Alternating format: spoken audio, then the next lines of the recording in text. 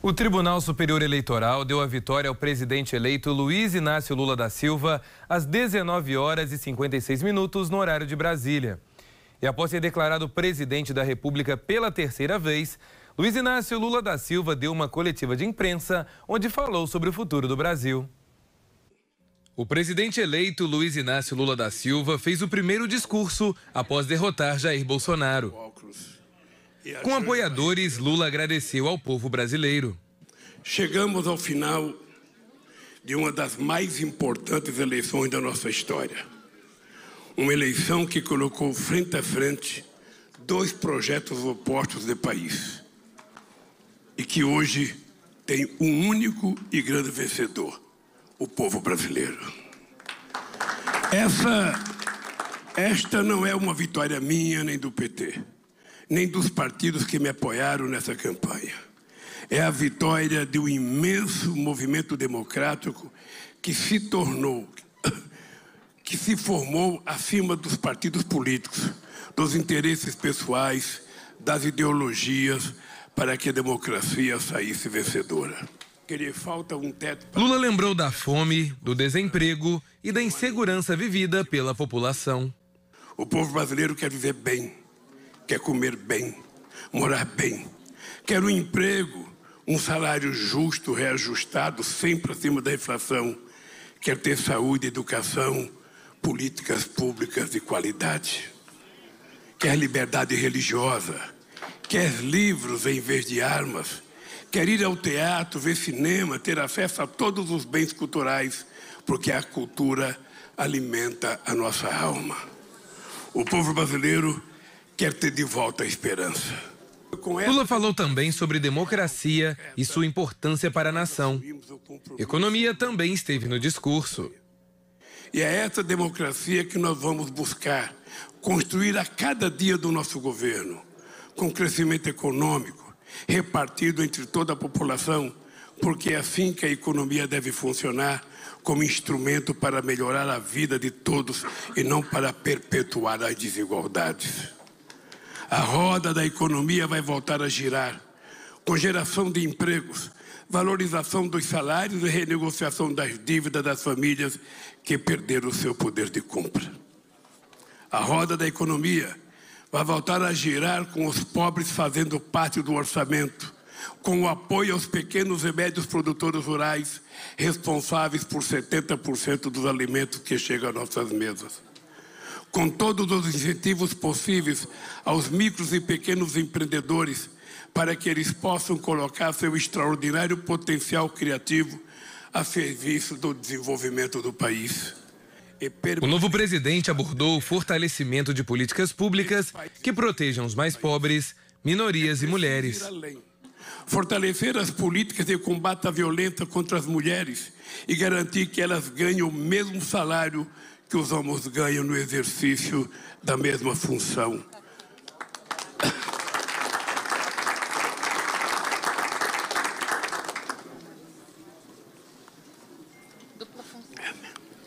Enfrentar sem trégua o racismo, o preconceito, a discriminação, para que brancos e negros e indígenas tenham os mesmos direitos e as mesmas oportunidades.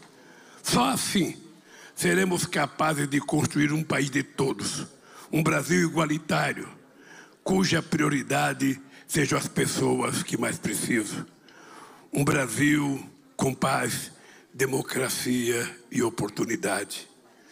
Lula agradeceu ao apoio recebido e fez um discurso direcionado aos que votaram em seu adversário. A partir de 1 de janeiro de 2023, Vou governar para 215 milhões de brasileiros e brasileiras. E não apenas para aqueles que votarem em mim. Não existe dois Brasis. Somos um único país, um único povo, uma grande nação. Lula falou também sobre família e as divisões causadas pela polarização. Não interessa a ninguém viver numa família onde reina a discórdia. É hora de reunir de novo as famílias, refazer os laços de amizade rompidos pela propagação criminosa do ódio. A ninguém, interessa viver num país dividido e permanente estado de guerra. Este país precisa de paz e de união. Este povo não quer mais brigar. Este povo está cansado de enxergar no outro inimigo e ser temido ou destruído. É hora de baixar as armas que jamais deveriam ter sido empunhadas armas mata e nós escolhemos a vida. O mais novo presidente quer realizar também um pacto com lideranças de diferentes segmentos políticos e sociais na construção do seu projeto de governo. O desafio, o desafio é imenso. É preciso reconstruir este país com todas as suas dimensões. Na política, na economia, na gestão pública, na harmonia institucional, nas relações internacionais e, sobretudo, no cuidado com os mais necessitados. É preciso reconstruir a alma deste país, recuperar a generosidade, a solidariedade, o respeito às diferenças e o amor ao próximo. Trazer de volta a alegria de sermos brasileiros e orgulho que sempre tivemos do verde e amarelo e da bandeira do nosso país. Esse verde e amarelo e essa bandeira não pertence a ninguém, a não ser ao povo brasileiro.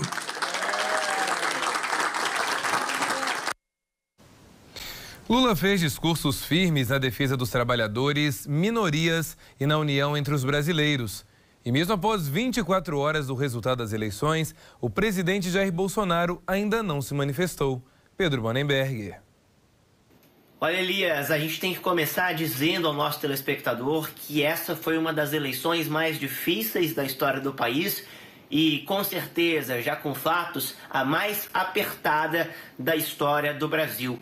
Foram 2 milhões de diferença de votos entre Lula e Bolsonaro. Uma margem muito pequena, a mais apertada da história, que levou Lula à eleição para que ele agora faça o terceiro mandato dele como presidente da República do país. Um feito inédito também, primeira vez que algum candidato chega à terceira eleição presidencial. Olha, Elias, essa eleição a gente vinha falando já disso nessa última semana como seria apertada, como seria bastante próxima né, a votação de, dos dois candidatos, isso de fato se concretizou. Né? As análises que a gente vinha fazendo sobre a cristalização dos votos, ela realmente se mostrou nas urnas eletrônicas agora após essa, essa apuração da contagem dos votos. Lula fez um discurso logo após essa vitória ser concretizada que eu resumiria em uma palavra: democracia. Lula tentou apaziguar os ânimos que estão exaltados, tão à flor da pele, de fato, nesses últimos tempos e ainda mais após o resultado das eleições. Lula disse que não vai governar só para quem elegeu ele, mas para todos os brasileiros. E disse que não existem dois Brasis, que o Brasil é um só, tentando já nesse primeiro momento fazer ali uma união dos brasileiros e mostrando o lado democrata. Isso é importante a gente dizer. Apesar de divergências, apesar de qualquer coisa que o eleitor possa ter com Lula, isso é importante ser reconhecido. Lula é um democrata e pelo menos é isso que ele vem mostrando já nesses primeiros dias também. Uma postura para tentar é, apaziguar os ânimos e apaziguar o país. Lula também falou sobre a relação dele com governadores e prefeitos, que não vai governar apenas para aqueles que são do partido dele ou aliados, que vai dialogar com todos, que o foco dele é resolver os problemas do país. Inclusive disse que o problema mais urgente, é, mais carente, que ele quer resolver primeiro, é o da fome dos 33 milhões de brasileiros que estão com fome e que precisam de fato de uma solução. Olha, Lula também já recebeu é, várias ligações da comunidade internacional, de Joe Biden, presidente dos Estados Unidos, até o francês Emmanuel Macron, todos já ligaram parabenizando e dando saudações a esse novo presidente eleito mostrando um prestígio também e o respeito que a comunidade internacional tem por esse candidato agora eleito presidente do Brasil. Olha, Lula, nesse segundo turno, então, conseguiu de fato um feito inédito. É a primeira vez, Elias, que um candidato à reeleição na presidência não consegue esse feito.